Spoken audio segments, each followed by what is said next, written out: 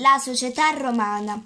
Durante il periodo della Repubblica la società romana era divisa in due classi, i patrizi e i plebei. I patrizi discendevano dai fondatori della città, erano, erano ricchi, possedevano terre e ricoprivano cariche pubbliche importanti e facevano parte del Senato.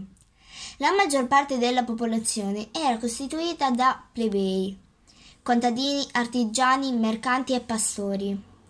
Erano uomini liberi, ma non ricchi, avevano molti diritti, avevano pochi diritti, ma molti doveri, come quello di andare in guerra tra un momento all'altro. A volte i plebei diventavano clienti dei patrizi, in cambio di protezione e denaro. Aiutavano anche le famiglie nobili. Infine c'erano gli schiavi. Ehm, di solito prigionieri di guerra lavoravano come contadini, operai o nelle miniere liberati dal proprio padrone, diventavano liberi.